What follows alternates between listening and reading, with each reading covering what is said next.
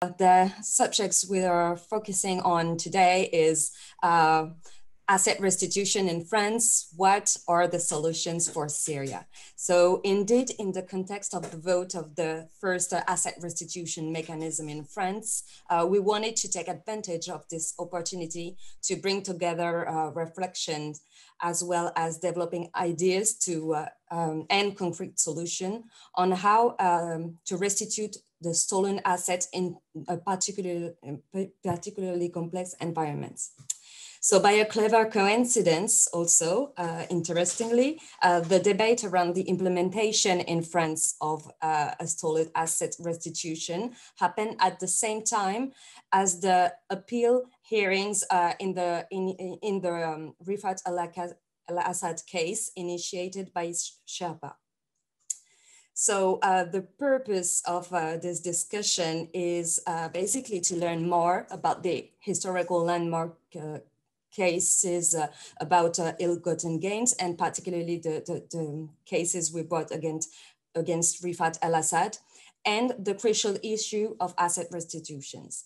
So I'm very happy to now present the leading experts that will provide the way forwards uh, by outlining avenues for uh, further reflection on how to restitute stolen assets um, by among other, uh, the former uh, vice president of Syria, Rifat al-Assad, in today's uh, benighted Syria.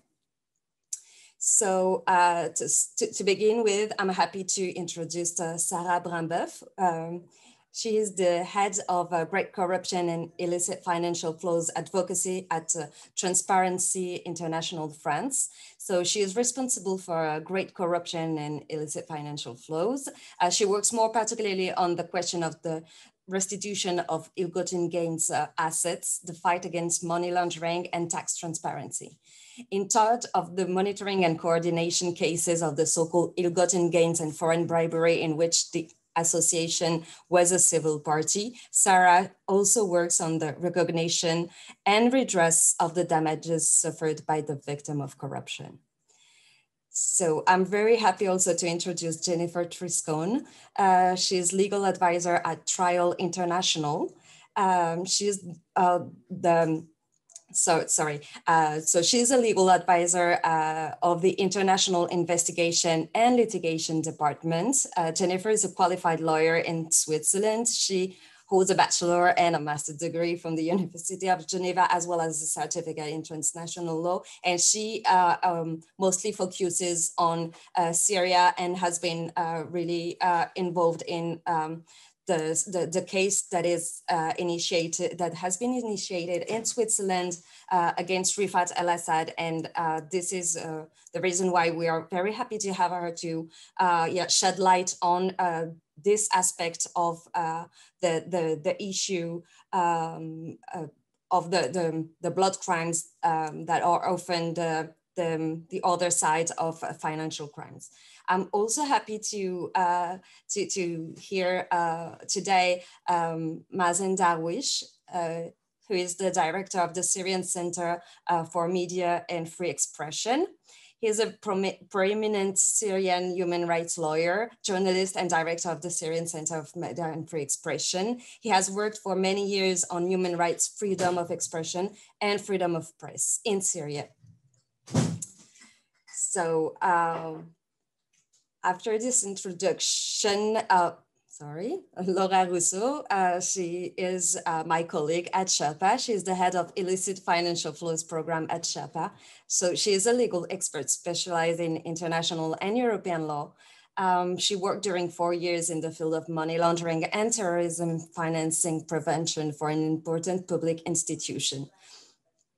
So uh, having introduced all the participants, uh, and I thank them again to uh, have uh, accepted to join the, this panel, uh, we can start maybe by saying that uh, the road to the, to the creation of a stolen asset restitution mechanism in France has been indeed long and sinuous.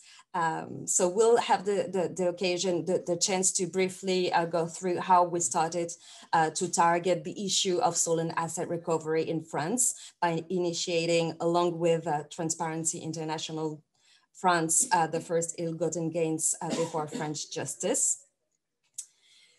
So uh, following this introduction, we will talk about the, the, the specific case of stolen asset restitution uh, to Syria by uh, presenting the case uh, Sherpa brought against Rifat al-Assad that led to the seizure and confiscation of assets amounting to nearly 90 million euros in France.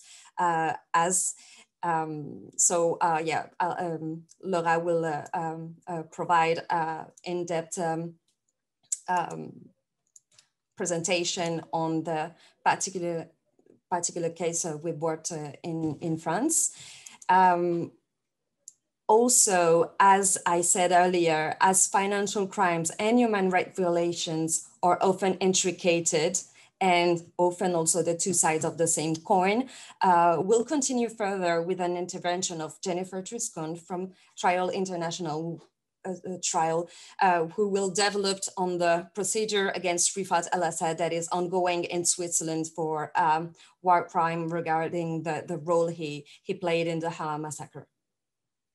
We will there we will then hear uh, Mazen Darwish uh, to learn more about the Syrian context today and the possible avenues uh, for asset restitutions in countries where uh, governance is um, basically uh, failed and um, in the absence of a rule of law.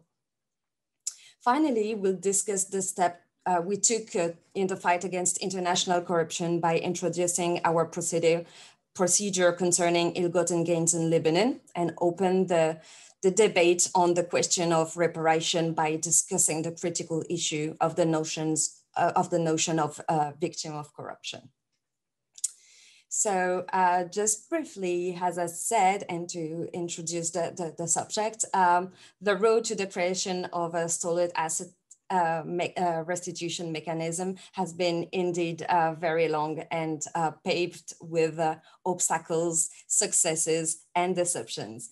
Um, ill-gotten gains uh, should be understood at, as, as the assets, movable and immovable property, financial products, bank accounts, etc., acquired in the in a territory, well, in this case, in France, uh, to launder the proceeds of unlawful activities or conceal financial crimes, including corruption committed uh, in, foreign, uh, in foreign jurisdiction by politically exposed uh, person and or their rela relatives and damaging uh, public institution and the population of uh, such jurisdictions.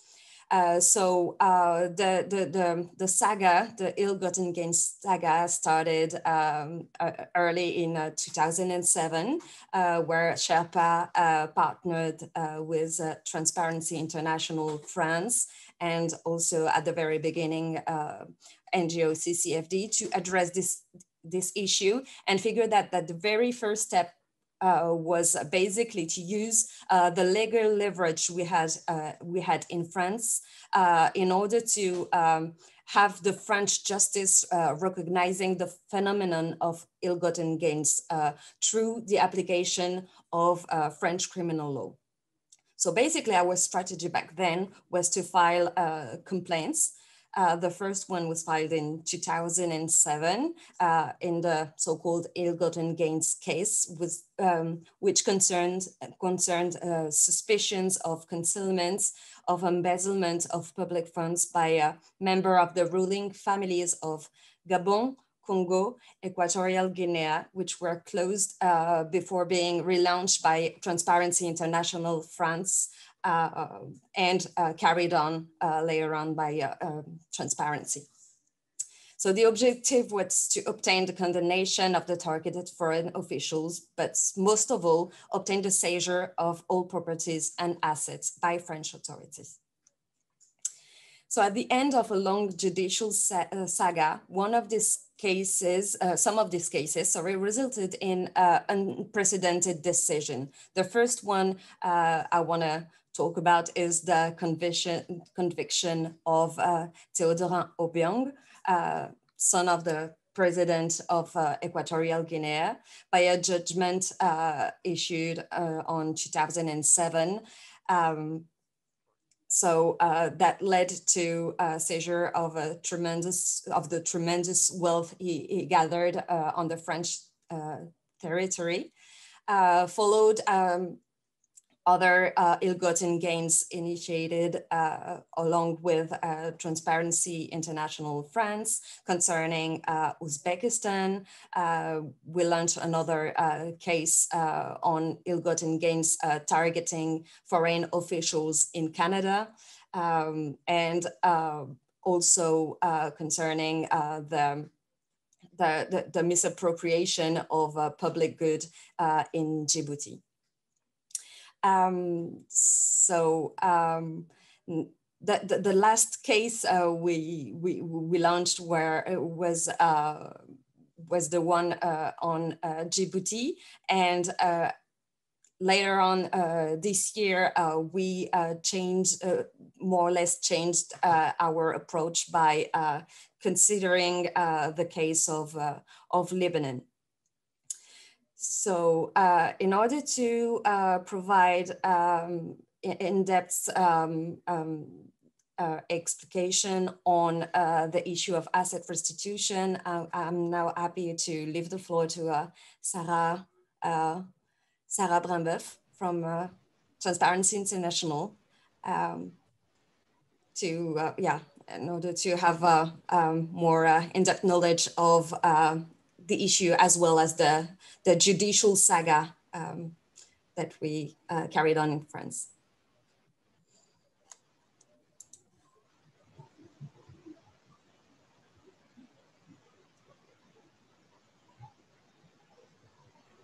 Sorry, we cannot Sarah, hear you. Sarah, uh, we cannot hear you, Sarah.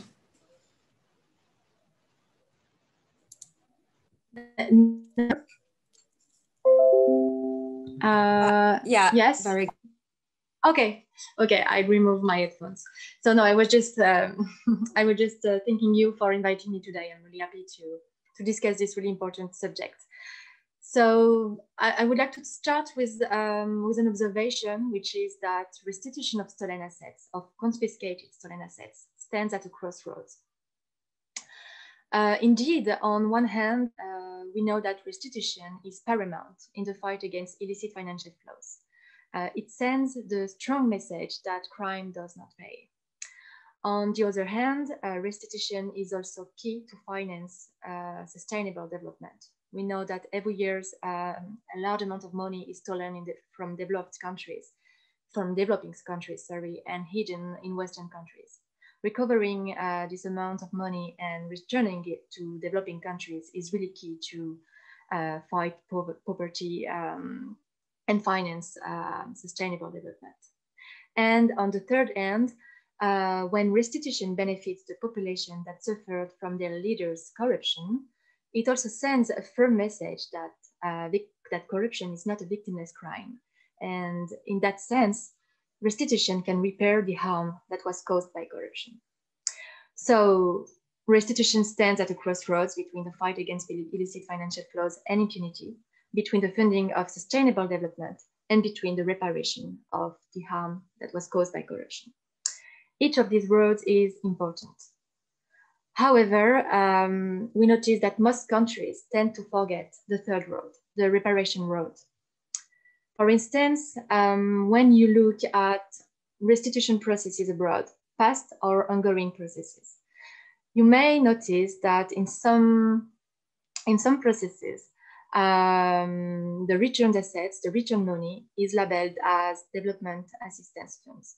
In such cases, you can't you can't detect, you can't uh, have access, you can't uh, identify the origin of the funds. You can't know that those assets, this money was confiscated because it was stolen in the first place. In other cases, you may also hear critics from citizens or from civil society organizations regarding the allocation of the returned money. When, for instance, this money is used to finance roads that leads nowhere or towards financial uh, towards presidential palaces, and that does not reach the, the population in the end. Uh, those cases I was I, I just described all miss the reparation goal, and missing this goal is really uh, dramatic because it undermines the whole uh, asset restitution processes. It creates distrust and it reinforces the vicious circle uh, of corruption and embezzlement. Um, this is the reason why we need guiding principles. We need um, those principles um, to frame and, and to guide restitution processes. Um, those principles are transparency, accountability, inclusion of civil society organizations, um, the guarantee that the return money won't uh, benefit those who committed the offense in the first place, etc. And here there's a good news and a bad news. The good news is that these principles, they exist. Um, they were adopted in 2017 in Washington, DC uh, at the Global Forum on Asset Recovery. Uh, during this event, uh, 10 principles for disposition and transfer of confiscated stolen assets in corruption cases were adopted. And those are principles of transparency accountability that I was uh, describing before. The bad news is that these principles are rarely implemented in practice. Um, in 2021, we still witness restitution processes where the general public don't have access to the most basic information of a restitution process. They don't have access to the memorandum of, of understandings, uh, the agreements between the asset holding state and the, the, the state uh, of origin regarding the modalities of allocation and use dis disbursement of the funds. They don't have access to uh, the monitoring modalities. They don't have access to uh, the criteria, the criteria for the selection of uh, projects or programs or the intermediaries involved in, in the process. So uh, this observation, this this constatation is, is it's kind of uh, sad a bit, but uh, it's useful because it helped um, it helped us French civil society organizations to uh, to conduct an advocacy with regard to the French bill creating a, um, a repatriation mechanism. Uh, in this context, and during the past, um, I'd, I'd, say five years, we strongly, we strongly advocated for the inclusion of these principles into the future French mechanism. And we succeed. Um, we now have, I mean, we are about to have, because the, the bill will be adopted at the end of July on, on, on the 21st normally. But we now have a general framework enshrining those principles. I think this is um, the first uh, asset restitution mechanism in the world to really enshrine um, those soft law principles. This is a great step forward. But it's not enough, as always in, in these cases, the devil is in the detail. So uh, it's not enough, and we will need to, to continue our, um, our work, our advocacy, to ensure that uh, in addition to this general framework, we will have concrete modalities, technical modalities, budgetary modalities to make sure that those principles concretely translate in practice and ensure that this money won't fall back into the, um, the corruption um, circles, but will benefit the populations in the countries of origin. So there's uh, other uh, momentum to come. Um, Mm, really technical and, and, and, and, concrete momentum. Uh, for instance, the budgetary law for 2022 and other um, other uh, technical um, uh, legislative and reg regulatory vehicles to really uh, uh, define and, and precise those modalities. And I would like just to, to, to finish on, on, on this um, on these last words. Um, so I hope we will have an ambitious French mechanism for restitution even if it's not perfect, we will have um, uh, strong cases, uh, Equatorial Guinea, Syrian, to really continue our efforts and, and convince French authorities, but also authorities uh, in the countries of origin of the need of, of, of, a transparent mechanism and accountable mechanism, mechanism and a mechanism that would include civil society organizations in France, but uh, most importantly, uh, from the countries uh, of origin. So I hope I made my, myself clear, but if you have any question at the end of the webinar, if we, if we have time, I would be happy to, to answer. Thanks. Thank you very much, Sarah. And uh, yes, we'll, we'll leave uh, um, some uh, room for the questions at the end. And uh, of course, uh, feel free to uh, ask your questions on the in the chat. I'll, I'll um, um, ask the questions at the end.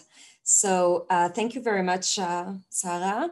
Uh, we can now uh, uh, move on to, uh, to the subject Syria and ill-gotten gains litigations against Rifat al-Assad, a textbook case for the restitutions of ill-gotten gains issues.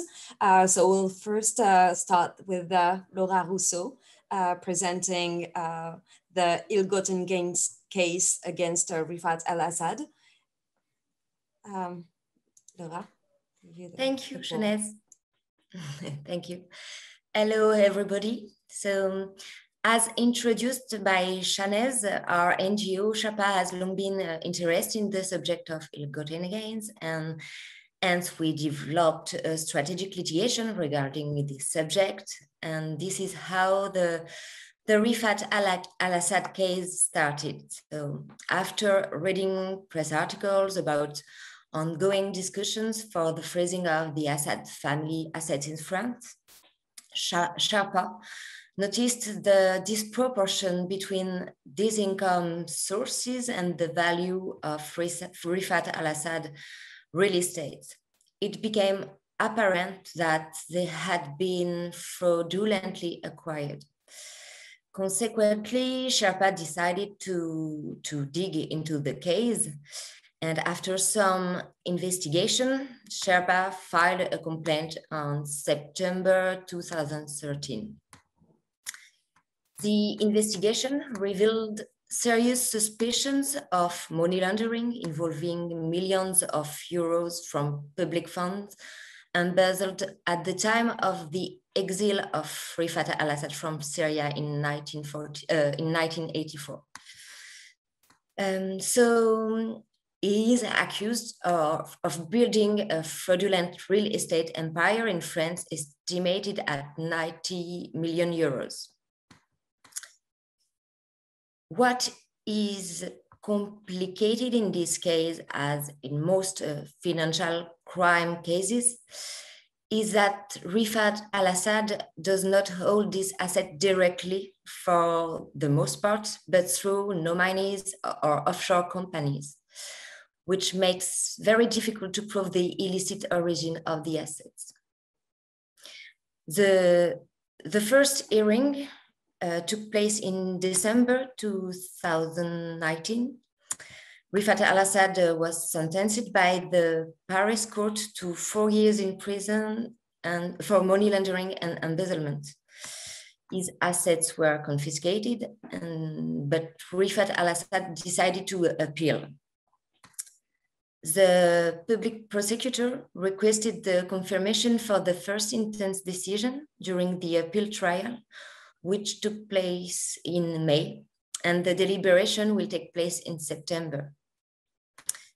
Um, this decision is of particular importance in the current Syrian context and underscores the importance of establishing a framework for the asset restitution.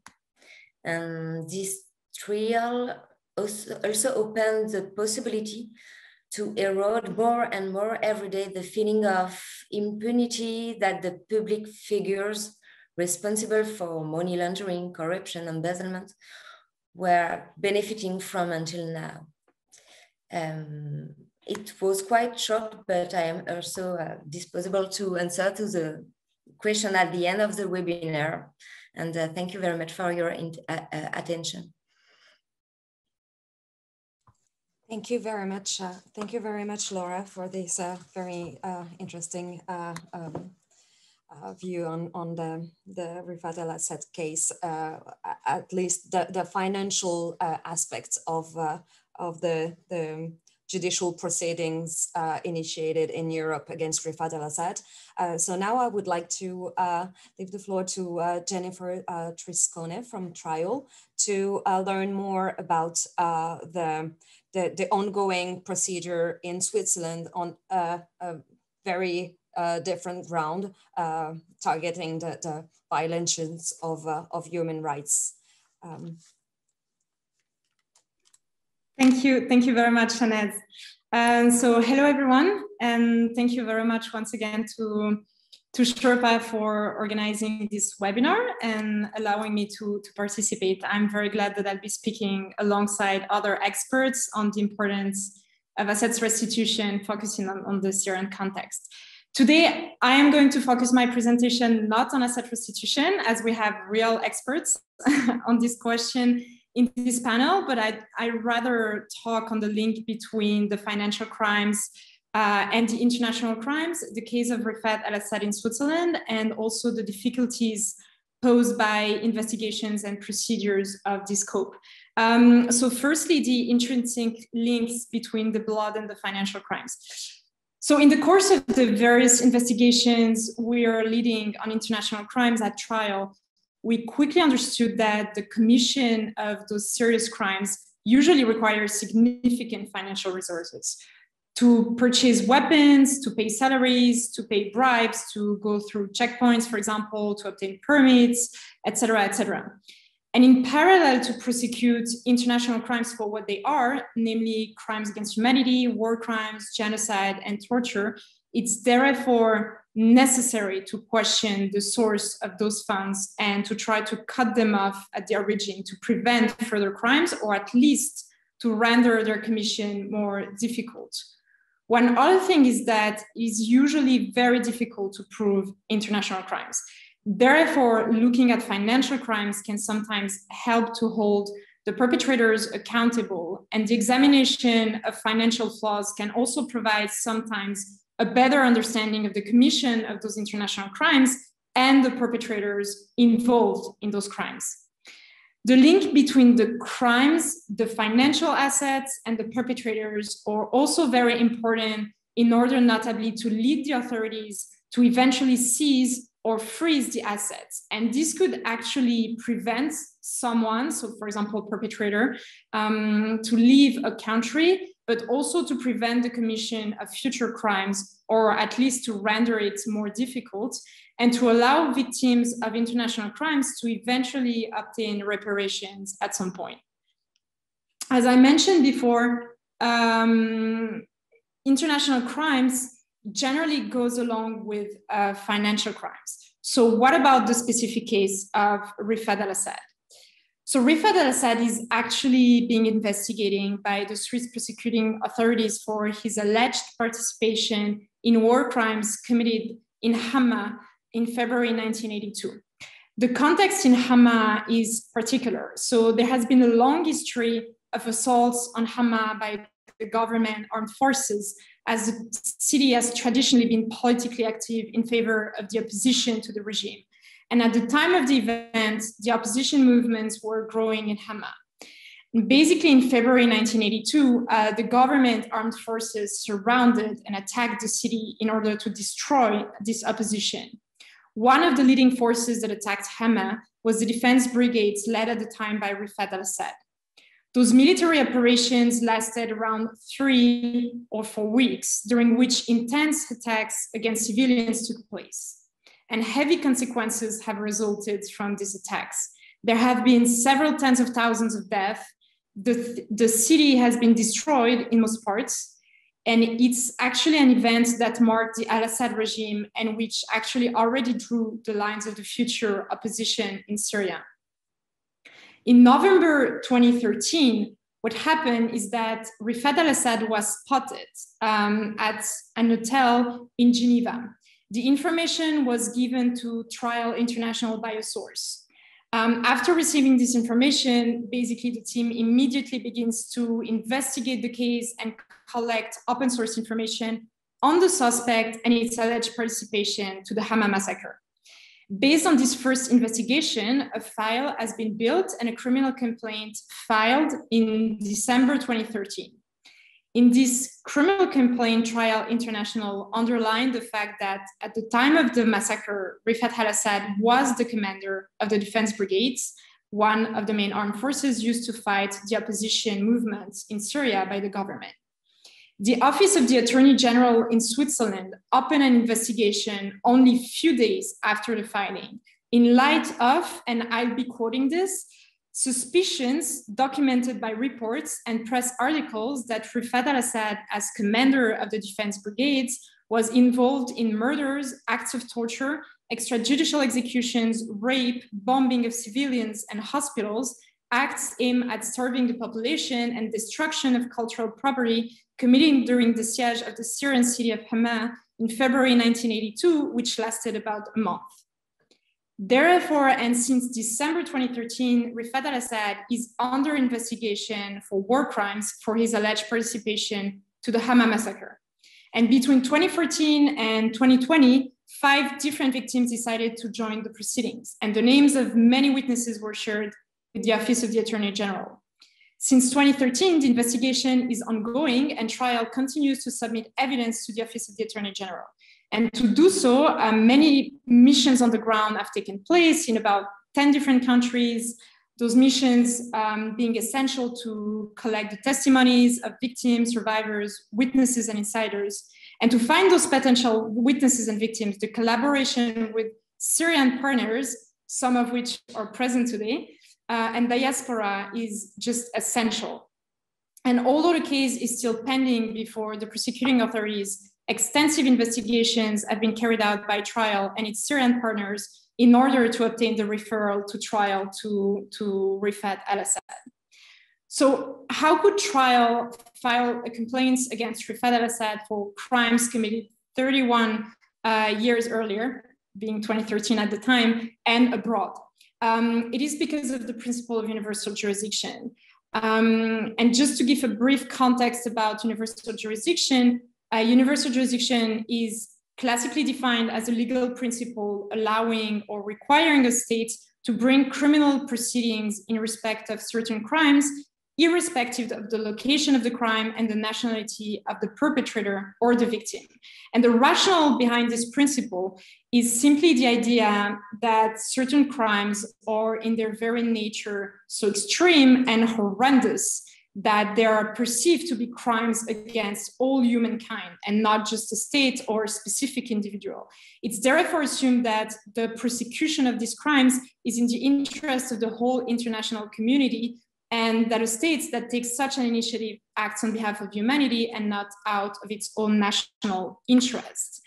Now, that does all state recognizes the principle of universal jurisdiction? The answer is no, uh, because universal jurisdiction is a very controversial concept, and its exercise raises important questions about, for example, the sovereign equality of states, the non-intrusion into domestic affairs, and the principle of separation of powers uh, within democratic states as rulings of domestic courts become a factor in interstate relations. So universal jurisdiction is basically where international law and international politics walk a fine line between their respective words. And in practice, law follow politics and not vice versa. And it actually matters because it means that even when you have the right case, the evidence, even a willing prosecutor, you may not have the political forces behind you. And so a case can be stalled, but it can also be dismissed, etc. So coming back to, to, to Rifat and the challenges, uh, the, the question that one can ask is how is it possible that actually the case is still under investigation after almost eight years after its opening? Well, basically, when dealing with universal jurisdiction cases, NGOs, human rights defenders, and criminal authorities face many challenges and difficulties. And I'll just list some of them. Um, maybe the first one would be lack of political will, especially in the case of high profile suspect like Rifat al-Assad. Um, there could also be potential issue of immunity depending on the official function the suspect is or was holding at the time. Another thing is the, of course, the specific conditions that surrounds the principle of universal jurisdiction. Uh, the presence of the suspect is required in most jurisdictions that recognize universal jurisdiction in order for that principle to apply. And I take the example of Switzerland, where basically the jurisdiction of the Swiss authorities over crimes committed abroad is established the moment the perpetrators enter in Switzerland. And the federal criminal court confirmed that the presence requirements must be fulfilled at the time of the opening of an investigation, which is quite a short time. But therefore, this, this means that the subsequent departure of the suspects will not put an end to, uh, for example, Switzerland jurisdiction in that case. And it's actually what happened with Rifat, who basically left Switzerland after the opening of an investigation. Another challenge is, of course, the access to justice for victims and survivors of international crimes. First, they should have knowledge of the proceedings, and they don't necessarily hear about the proceedings. So how can victims and survivors be made aware of the existence of open criminal proceedings and investigation? Fortunately, through Syrian partners, the, the civil society, it's possible, but it's always a challenge. And second, the difficulty to travel to testify for some of them is real because of many different reasons. It can be an ongoing asylum proceedings. It can be the COVID. We know that uh, too well now uh, which, which, makes sorry the traveling very difficult at times. Um, and third, the security concerns. Um, and there's notably the issue of anonymity, where basically a lot of victims and witnesses who want to go forward um, and explain what they've been through, being able to, to expose what they lived, um, they, they are usually confronted to this issue where when they will be asking for anonymity, it will not automatically be granted. And the conditions to issue anonymity are usually pretty high. And the consequences of not granting anonymity could actually prevent the participation to victims and survivors to proceedings. But above all, it can put some of them at risk. Finally, um, and I'll try to be quick, um, there's also the question of the remote investigation. Um, evidence collection is actually quite challenging uh, in cases of international crimes, and notably where access to the field is not possible. And Syria is a typical example. Um, and if we take the example of Hama, uh, the crimes are, well, one, remote in terms of distance, but also remote in time. I mean, the massacre has been committed now 39 years ago. Uh, so the memory fade. Uh, there are also difficulties to collect the evidence. Um, and there was no media coverage at the time because the city was locked in, in some ways. Um, and the, the, authorities are also um, confronted to very differ, different cultural contexts. And for example, they will have to try to understand the way the army and the paramilitary units function, for example, in theory, but also in practice, the history of the city, the origins of the armed conflict there, etc.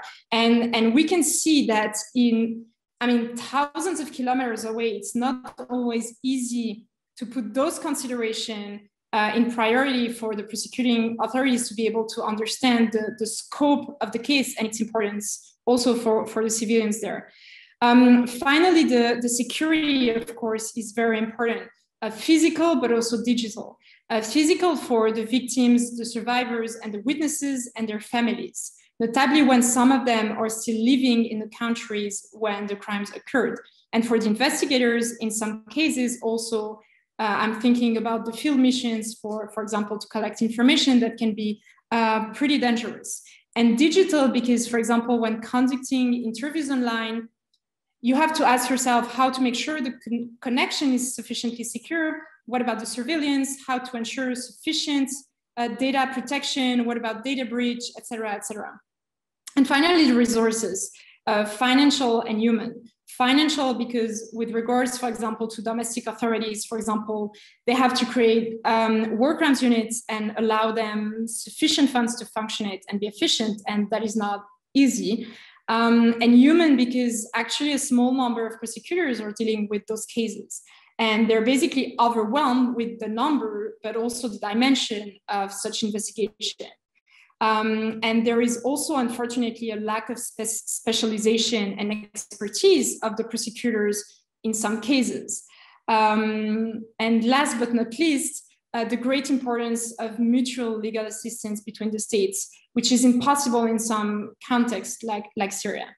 So those are just example of, of the many challenges that one faced when dealing with universal jurisdiction cases, and which could, in some parts, explain why those investigations are taking so long. But despite all of these challenges, I truly believe that universal jurisdiction remains one of the most important tools, as it's sometimes the only available path for victims of international crimes to access justice and to hold perpetrators um, accountable. Thank you. Thank you very much, uh, Jennifer. Thank you. Um, I am now uh, moving on uh, and very happy to hear uh, Anwar Albuni.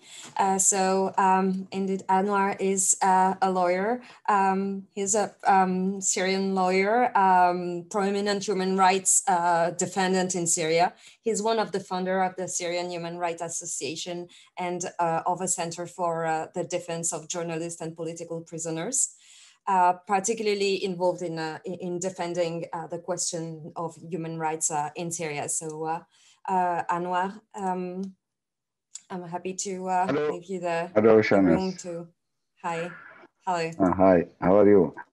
thank you, uh, and for Sherpa and to invite me and launching this webinar and thank you for, for everybody joining us uh, in this webinar. Uh, yes, uh, the, the uh, Rafat Assad case in, in France and in Switzerland, and there is one in Spain also. it's so important because this guy, after 30 years, uh, 40 years now, uh, almost, uh, and the Syrian feel it's it's hopeless to to accounting these uh, criminals. Uh, and when we start in Germany to following the criminals against humanity and war criminals in the Syrian, after Syrian revolution, always somebody asks, what about Rafat al-Assad? Why it is uh, still uh, outside bar and still outside jail? And why nothing happened against him?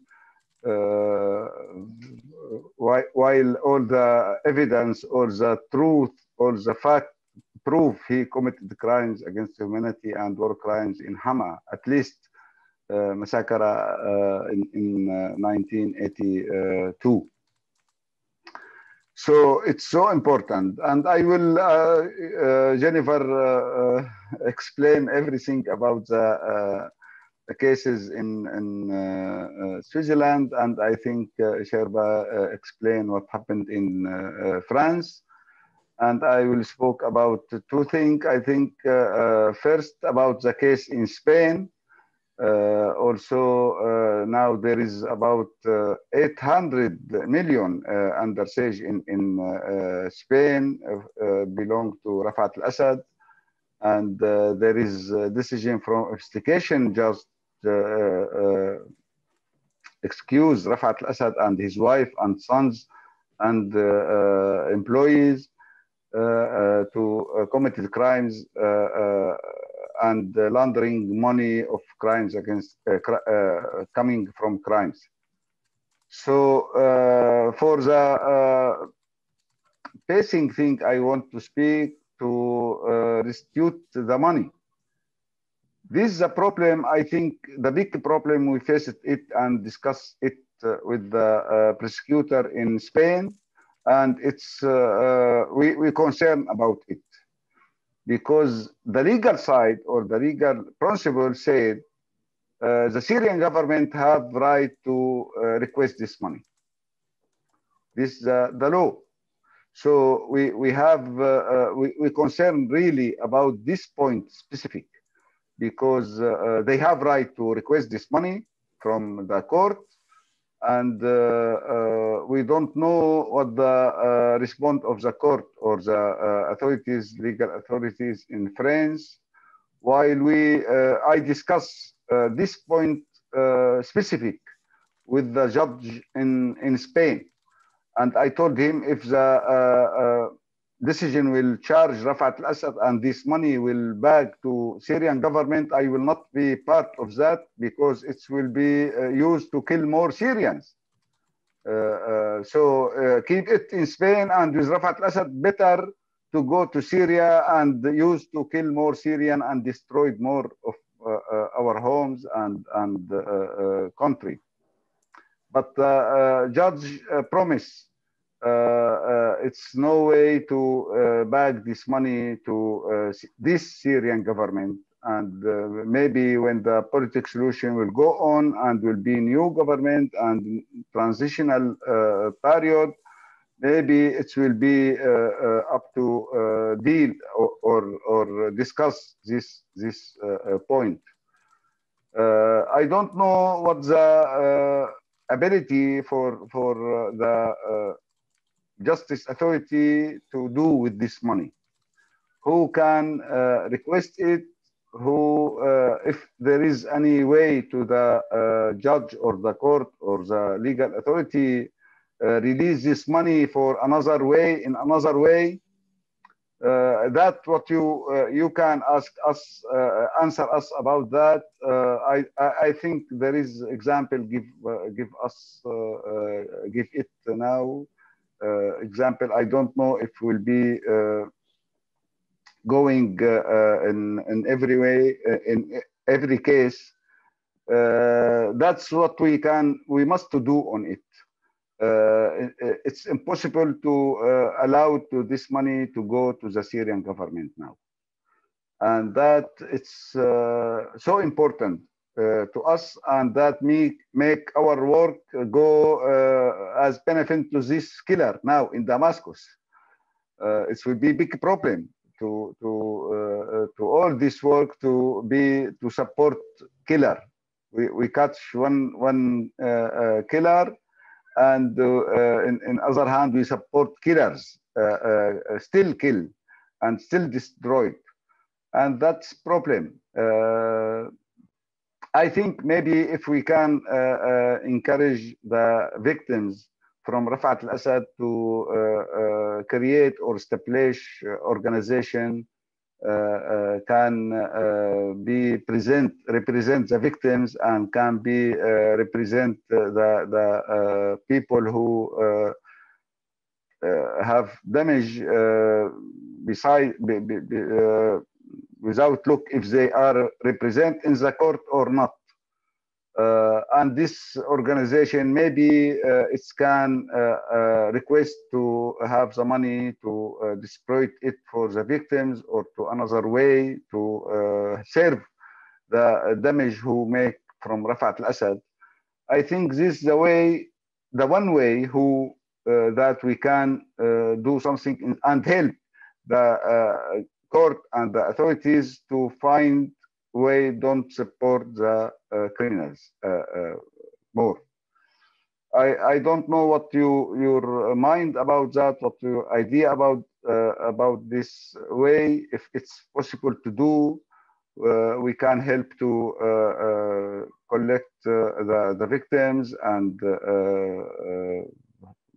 make establish like this organization and they can uh, request to, to have the money from, uh, uh, I discussed that with Spain and they will come with this idea. we, start, we started to work on this point. I don't know if it's in France like that. We can do that and the legal authorities can, can respond well with this idea. Thank you very much. Uh, Thank you very uh, much. Thank you very much, Anwar. Thank you. And I suggest on the on the the the, the avenue you uh you you suggested that uh, later on maybe we can have a a, a discussion on that uh, probably also with uh, uh Sarah Brimbeuf from TI uh, um, to yeah to uh, uh, see uh, how can that be doable and and interesting uh, in in the particular case of uh, of Syria. Uh, so thank you very much. Uh, I will now uh, pass, uh, pass on to um, Mazen Darwish um, to give us more details on the, the, the, Syrian context and the, the, the, the ways and avenues we could um, um, consider for asset restitution um, of Rifat al-Assad um, in Syria. Thank you very much, and thank you for uh, all the speaker and for the invitation. Actually, I think, um, in, especially in the country like Syria, this is a very important step and very uh, sensitive at the same time. Uh, because as uh, maybe all of you mentioned, uh, we can't separate Rafat and his crime from the regime who exists today. So we are talking about the same authority, the same regime, and even the same family. So it, it, it could be very shocked and silly if we took the money from Rafat al-Assad and give it to Bashar al-Assad, where uh, uh, some scenario like this, it, it, it, it seemed like a nightmare and uh, maybe it's better if we keep it with Rafat. This is the, the only scenario we have it. And I think, uh, yeah, mm, this is very important and sensitive, uh, especially for the victim. And for this, I think uh, here is our duty as civil society, as organization, local or international, to be sure about uh, manage the expectation of the victim. Because through the, uh, the great and wonderful uh, effort uh, through the universal jurisdiction or the extraterritorial jurisdiction done last few years in Europe, I think uh, uh, there is a lot of expectation and there is a lot of sometimes of false news uh, provided to the victim. And we need to, to understand that we are talking about a war and the crime still exist. Now we are, while we are talking, there is people killed and tortured and disappeared uh, uh, from the Syrian government especially and her forces. So this is very emotional uh, situation. so manage the expectation, give the victim and the Syrian audience respectable and easy legal information. Sometimes we give the information as lawyers uh, we knew uh, in advance what the expression means and all of these details. But this is not the same way for the uh, victim and the Syrian audience in general. Manage the expectation and give the correct and, and the right information. And uh, here, so it's very important to recognize that why this uh, case and in France especially, and even in, in Spain, uh, why this uh, money be able to recovery, uh, how this is about money laundering, about tax issue, not about the war crime directly. This is, I think, all of these details, it's very important and we faces this uh, challenge every day with the Syrian uh, victim in this uh, way, what we can do in, in, in, this money as civil society, I totally agree that the victim, the direct victim of Rafat al-Assad, they are the most important. But also when we are talking about destroying the whole city of Hama, when we are talking about thousands and thousands of, of victims, not only in Hama, even before uh, 1982, uh, we knew that uh, Rafat is responsible about even execution more than between 600 and 1,000 of the prisoner of Tadmor prison in, in, in 1980. So we are talking about huge number of, of victims, thousands.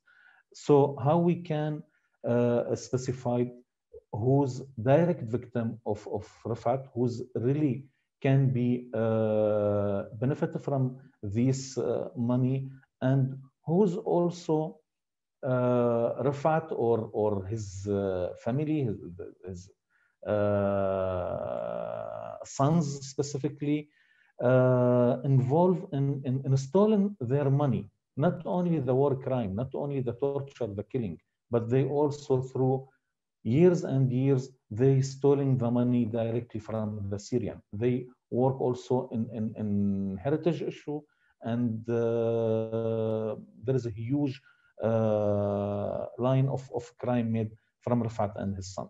So how we can identify the direct victim, what uh, their right, and how we can use this money not only for Rafat crime, because now Syria, when we are talking between 18, 1982 and today, there is unfortunately now every meter in, in, in Syria, there is a disaster and there is a crime.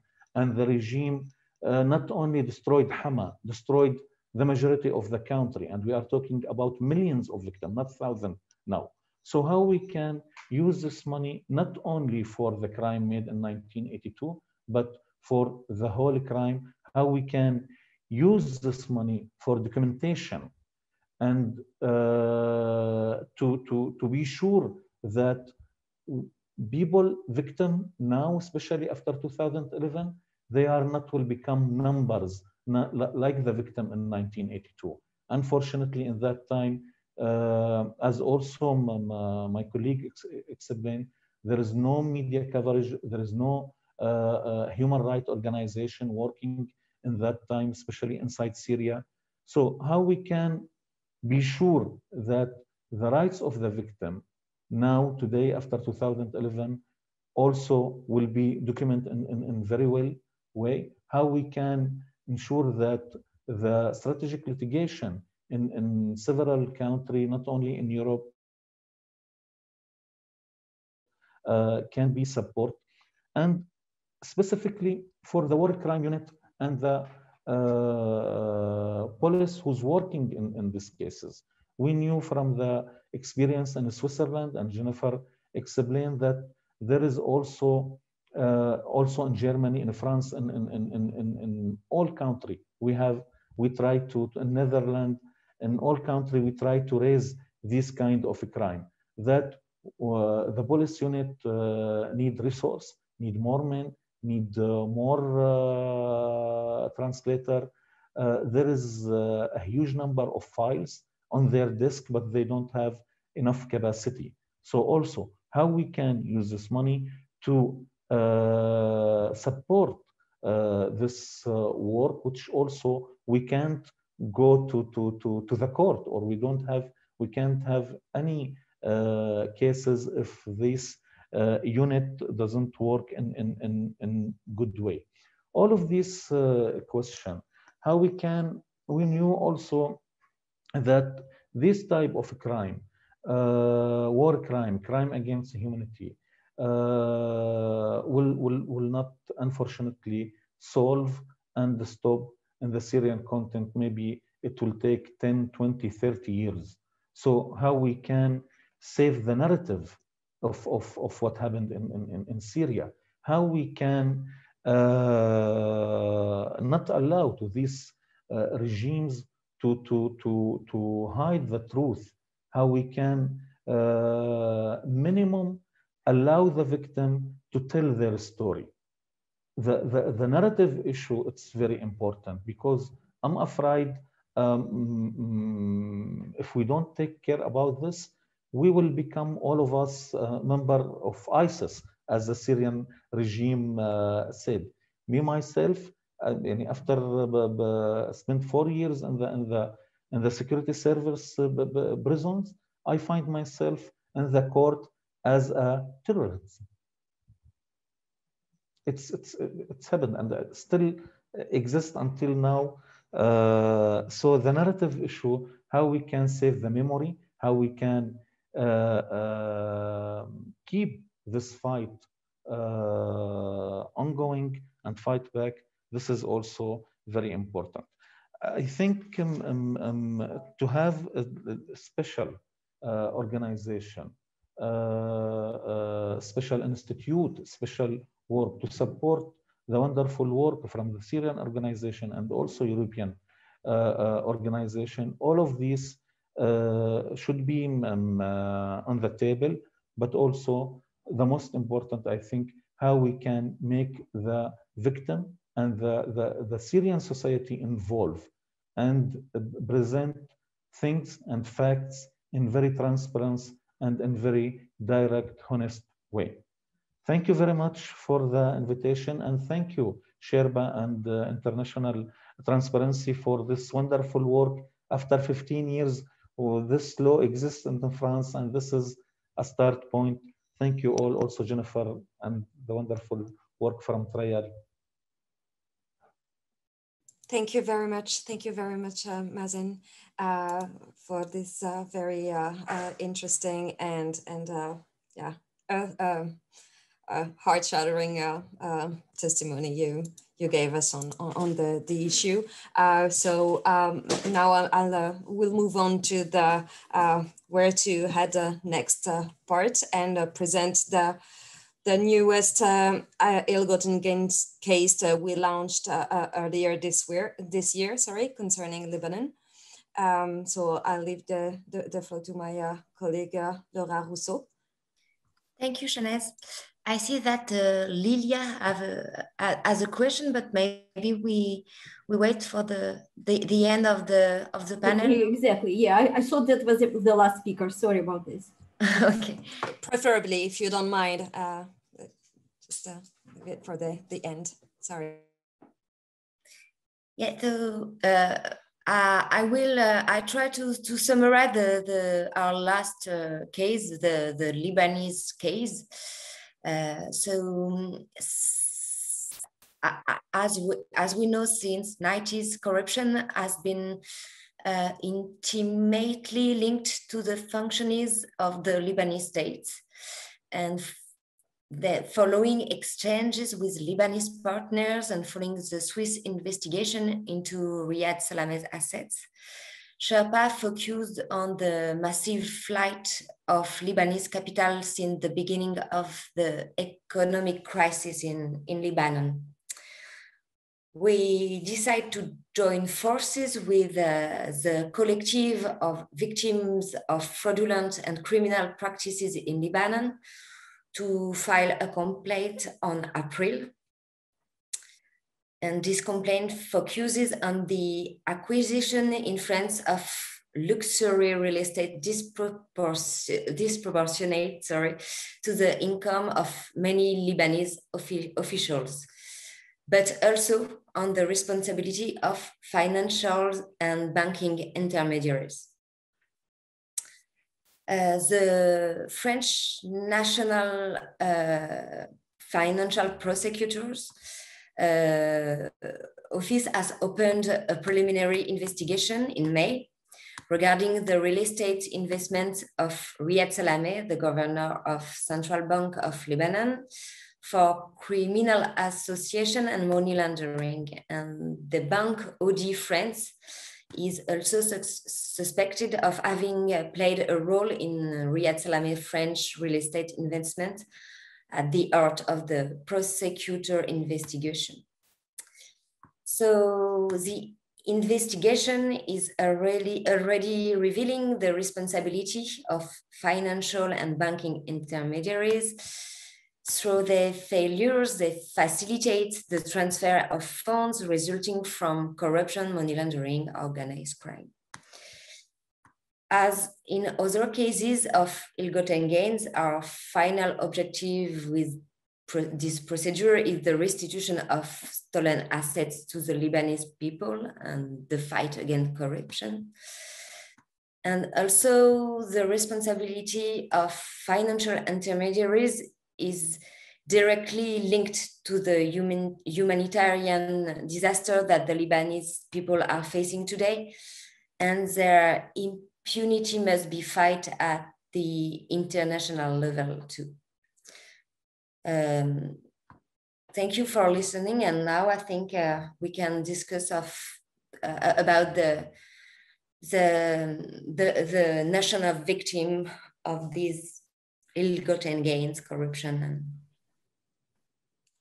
uh, yes, thank you very much. Thank you very much, Laura. Just uh, to uh, yeah, open up the debate, uh, maybe just uh, I'll have just a few words on the notion of victim of corruption and the notion of of reparation, because indeed, as we discussed um, today, the first step the, the, the first step was the the question of asset seizure and uh, now we moved on to the question of uh, asset restitution, like returning uh, those assets to the deprived population. However, uh, the one of the significant problem in this issue uh, lies around the, the, the, rights of the victim. Uh, so even though now the, the, the, urge of building a strategy in fighting corruption is clearly identified as an absolute necessity, both uh, nationally and internationally. Uh, the idea um, of that it causes uh, damage uh, that uh, triggers reparation is um, is paying paid too little attention um, to, and so are the victim of corruption. Um, it is um, clear in everyone's minds that corruption is uh, related to uh, underdevelopment and poverty.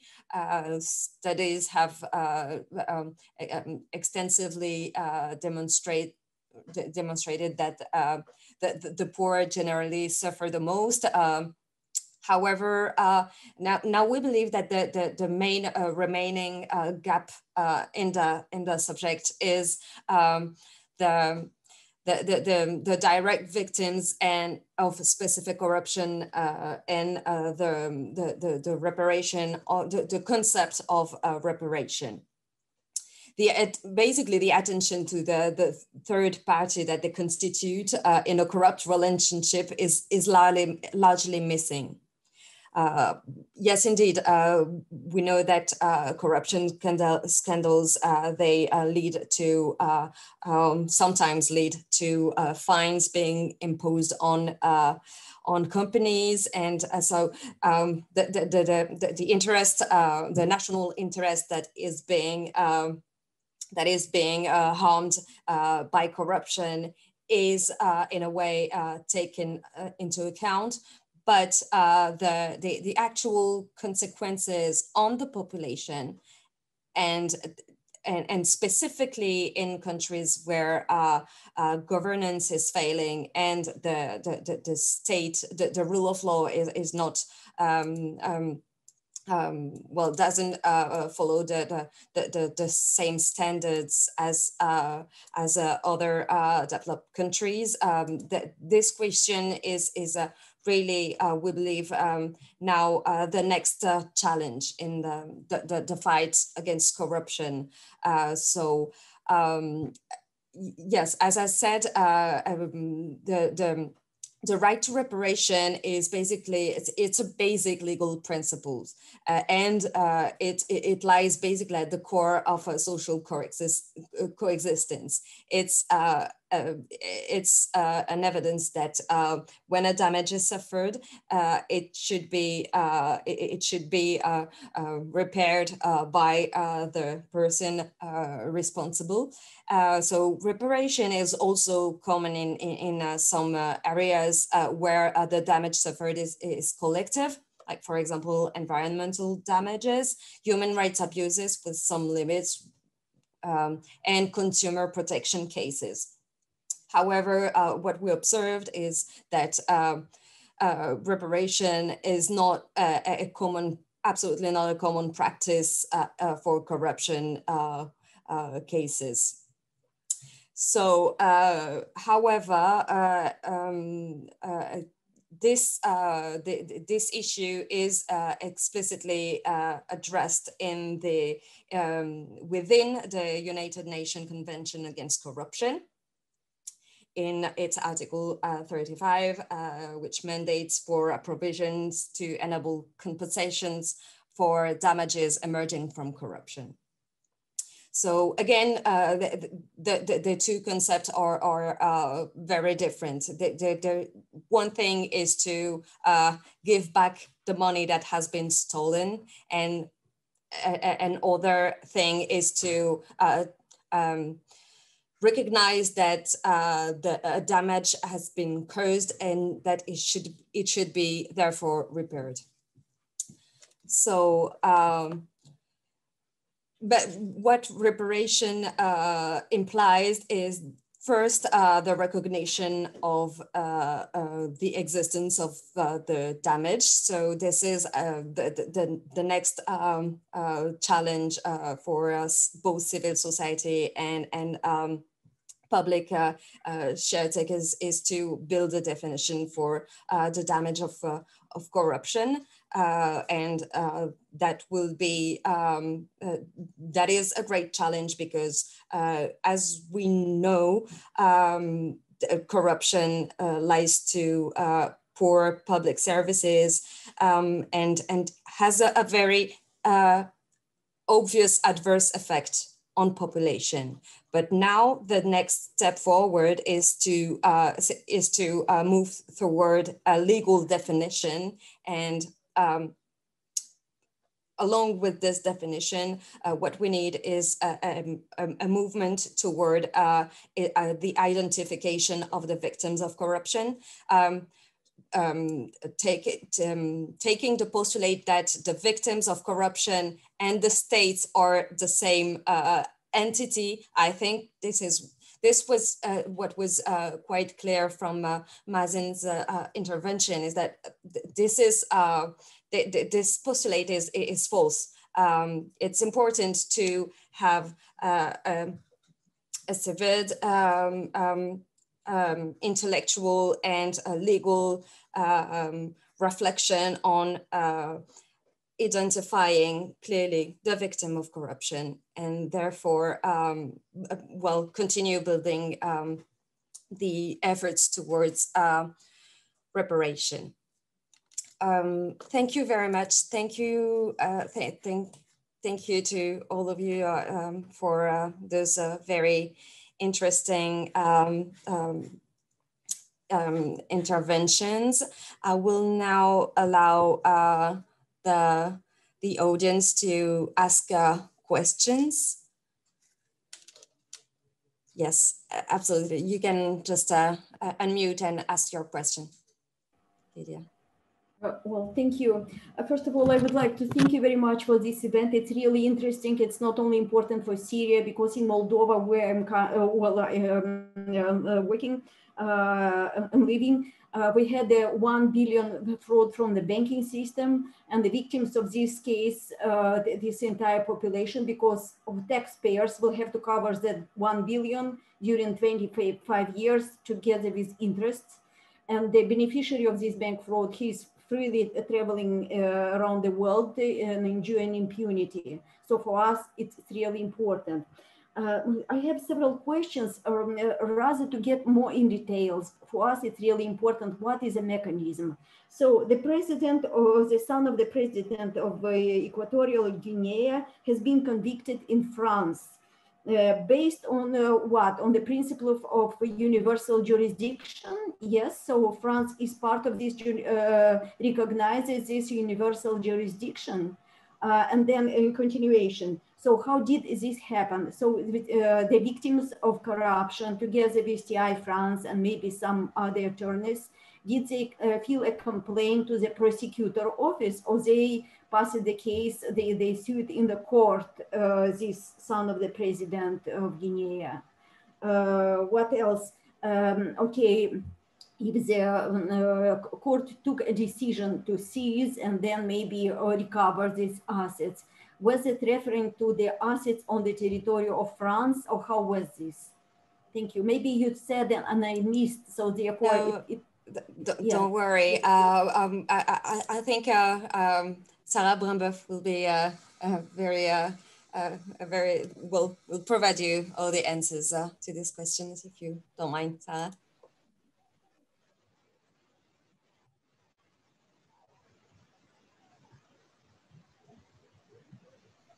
Sorry, Sarah, we cannot hear you. Uh, is that better? Yes, very better. No, no, sorry. Um, so just to start, to convict uh, Teodorino Obiang, the vice president of Equatorial Guinea, France needs a territorial link uh, because the offense, the, the embezzlement of public funds, happened in Equatorial Guinea between actors that weren't French. So the only okay, link sorry, we have. Sarah, something that the sound is moving and it's difficult to understand. Maybe closer to the mic. It's really important for us. Sorry. Okay. Uh, is that better? Is that better? Yep. yep. Sorry about this. Yeah. Yes. So no, no. Just I was uh, mentioning the the, the the necessity to have um, a link between French jurisdiction and the offense, and the only link we had was where the assets located in France. Uh, this is a territorial link.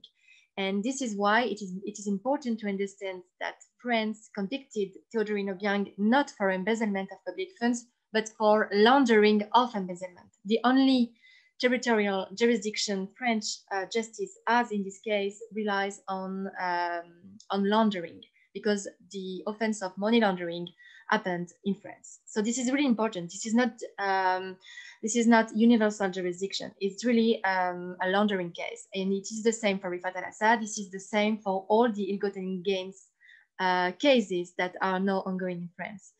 Uh, regarding the other questions on how civil society organizations launched the launched the case about 15 years ago, uh, French justice has the capacity to, to initiate itself an investigation in such cases. However, because of political reasons or I don't know, lack of political will or a lack of financial resources, they often fail to, to do so. So Sherpa, other NGOs, including TI France afterwards, had to file a criminal complaint. They struggle to be recognized as co-plaintiffs, as victim, if we can say. Uh, they had to go in front of the, the, the, French Judicial Supreme Court to be recognized as civil parties. And uh, in 2010, they, they were recognized as such. And now they, they have, I mean, TI France uh, has this status, Sherpa also in the Rifat Al Assad case, in the Djibouti case, etc. We have a legal standing in such cases. And this is really important because it allows um, not all victims, unfortunately, but at least French Anti-Corruption Association to have a role, to have a real role in such cases. And that's really important because without civil society organizations, I don't think we would have, have uh, a conviction of Obiang, of Rifat al-Assad right now. It would be the same as 15 years ago. Uh, I mean, just a tolerance from French authorities regarding uh, this dirty money uh, from abroad. Thank you very much. Um, um, someone else has a, a question for uh, um, one of our uh, speakers. If not, I'll, uh, I'll, allow myself to, to ask a, a question to uh, uh, to uh, Jennifer. Uh, uh, Jennifer, I'd be interested in, in knowing uh, what could be the synergy between prosecuting a financial crime and uh, prosecuting human rights violations. For example, uh, during the, the, the Rifat al-Assad case, we, we really tried during the procedure to extensively present the, the, the, the blood crime aspects of the of the, the of the pers of the character. Uh, however, uh, obviously, the, this this was not the, the legal ground of the actions so of the action we brought. So what could be the the the, the way to uh, that financial crimes uh, drags with it uh, more uh, um, uh, dynamic on prosecuting prosecuting blood crimes? Well thank you very much for your question Shanez it's actually kind of a difficult one, but um, I'll I'll try to to answer, well, I would say that um, first of all, money sometimes can trigger the interest of the prosecuting authorities. Um, in the sense that if they know that they'll probably be able to seize some assets, uh, etc., confiscate, and this, this could be linked to their own territory. This could be an interest also um, to invest the case and do something on the case. Now, I mean, the financial crimes are not always linked to the blood crimes. Um, but what could be interesting is that the blood crimes can help uh, depicting also the character we're talking about. Because sometimes, I mean, in those financial crimes investigation, you have those persons, well, not for Rifat, but for others who looks you know very good. They have uh, big companies. They appear as very good good and trustworthy guys. And and finally when you look behind it and you can make a link with the blood crimes it can help also understand how the character works the relationship he had and in what he participates. Um, and as i also said in in the presentation before I think that really the financial flaws can also help to understand how some blood crimes are happening. And I mean, this is particularly true in, for example, in cases of pillage. Um, I mean, we have different cases of pillage at Trial, and we basically were able to understand how the pillage was happening and who were the actors in the pillage that participated to actually deforestation and, and different kind of human rights violation through uh, the financial flaws that the company that was responsible for the pillage used to you know sell uh, typically the um, well the, the woods it was actually selling and everything. So it can help um, make you understand uh, the rationale of the blood crimes and basically the providers of the funds that usually helps for uh, those blood crimes because once again i mean one cannot really i mean do anything without money because i mean at some point you have to pay uh, the people i mean even the militias uh, the, the people from the regime. I mean for corruption you need money to, to corrupt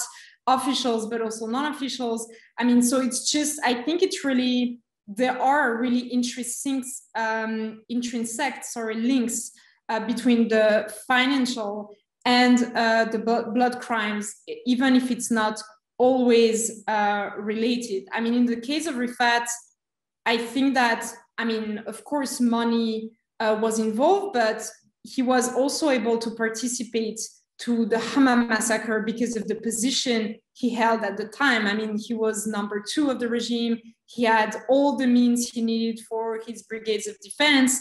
And we know that they had some weapons the other armed forces didn't have, just because he was the brother of the president and he had access to a lot of money.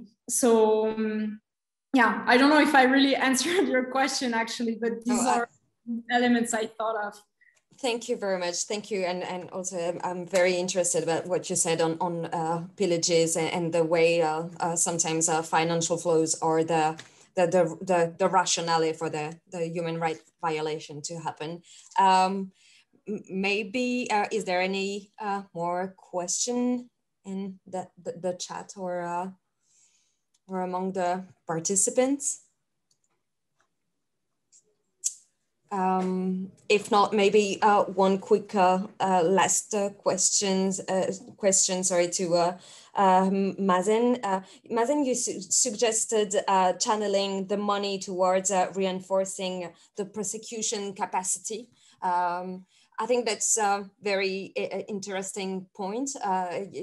you suggested during um, your um, Euro uh, presentation. Um, what what can be done in the Syrian civil society? Like, is there room for uh, NGOs to emerge uh, today in Syria? Such NGOs that could uh, carry on this uh, this role of of reinforcing the rule of law. Do you think that is something doable uh, in today's Syria, or or does it have to go through um, um, like uh, European NGOs? Um, yeah, thank you. Uh, I said that one of the channel could be the, the mm. prosecutor, uh, could be benefit uh, the prosecutor office and the war crime unit and the police. I think, uh, yes, there is a Syrian organization could be not only one, could be uh, uh, several.